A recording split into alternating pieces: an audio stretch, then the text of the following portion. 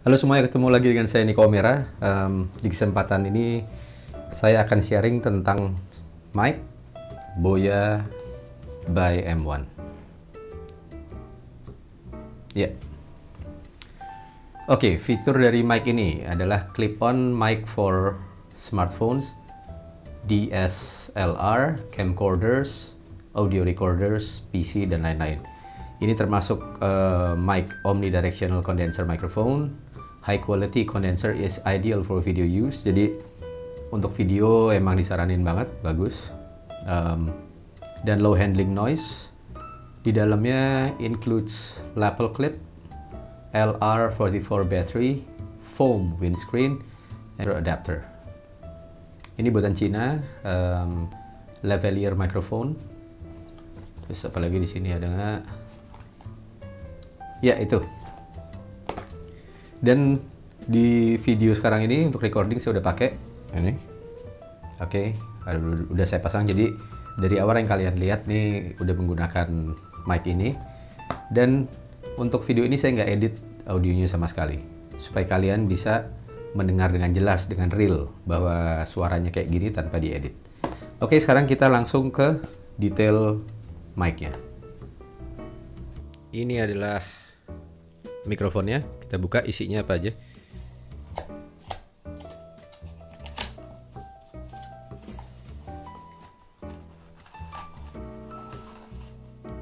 Ya, kosong.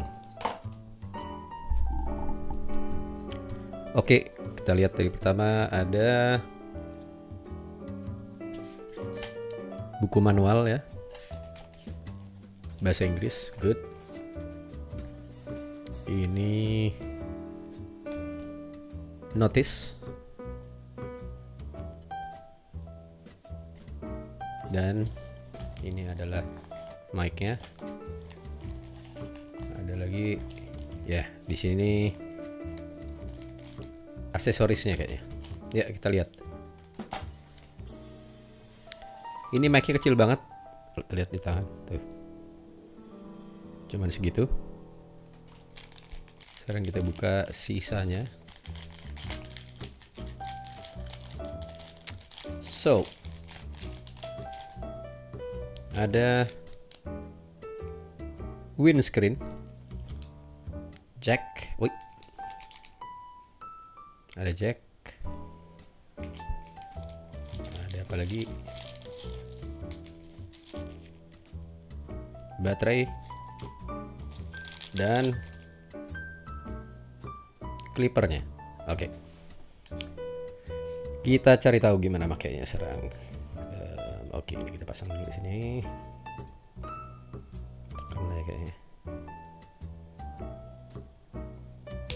Ya. Terus ini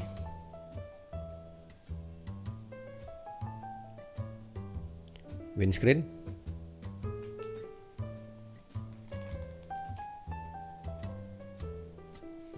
ini kalau nggak hati-hati ini gampang apa namanya?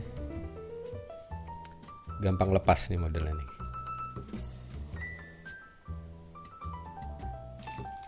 Berikutnya kita isi baterainya. Ya. Dan ini buat isi baterainya di sini nih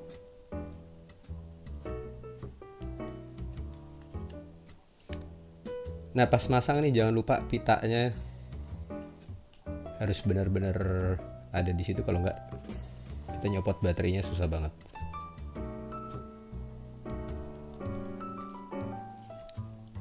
Ya. Oke, udah terpasang. Tutup lagi.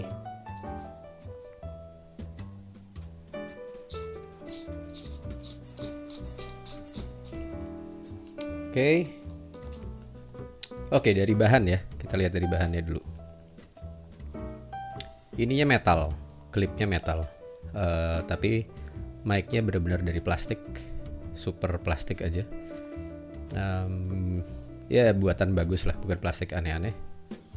Oke, okay, dan ini ini kayak aluminium mungkin ya. Ini bisa dijepit di sini kalau kita mau pakai jadi kabel yang panjang ini jadi nggak terlalu masalah ya karena bisa kita jepit Yap.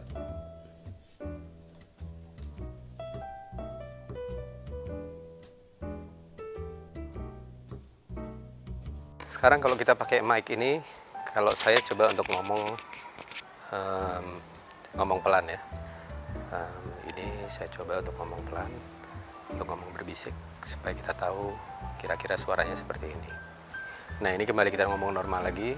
Jadi ini untuk vlogging bagus, untuk uh, misalnya kita ada wawancara atau apa. Oke, cuma saya nggak tahu kalau um, itu ada dua, ada dua orang hasilnya kayak apa.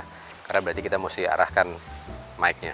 Itu tadi setelah saya tes um, hasil suaranya kayak gini dan ternyata hasilnya bagus untuk posisi di luar angin juga nggak terlalu nggak uh, terlalu pengaruh jadi emang benar ada noise reduction um, dan cuman satu aplikasi dari Android yang bisa masuk ke sini yaitu Real HD kamera nanti akan saya share di di kolom komen ya sekarang mic tidak saya sambungkan ke smartphone.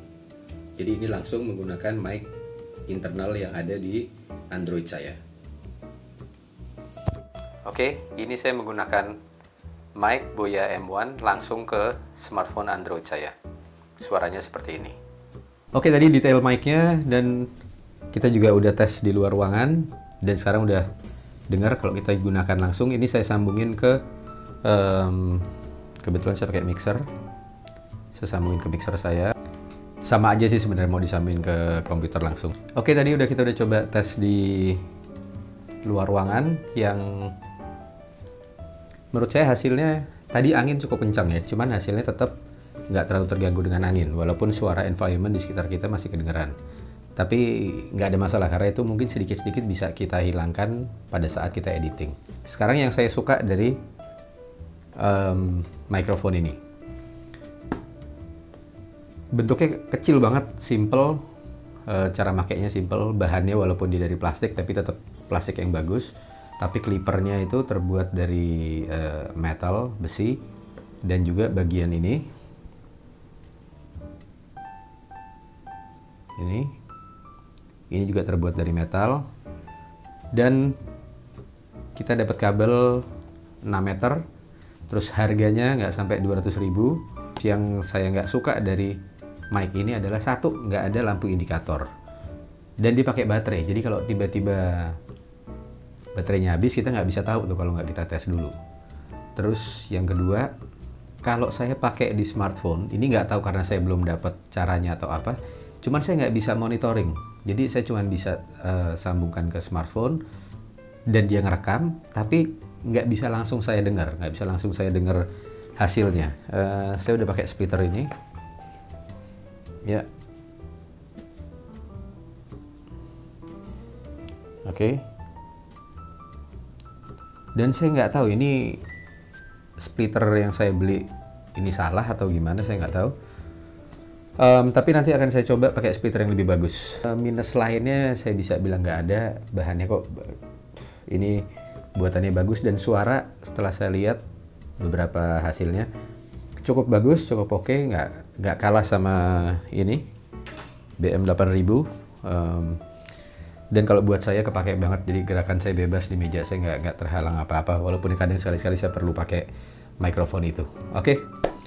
itu aja dari saya. Um, jangan lupa kasih like, subscribe, dan share ke teman-teman. Dan tunggu video-video saya yang lain. Oke, sampai ketemu lagi dengan saya, Niko Omera.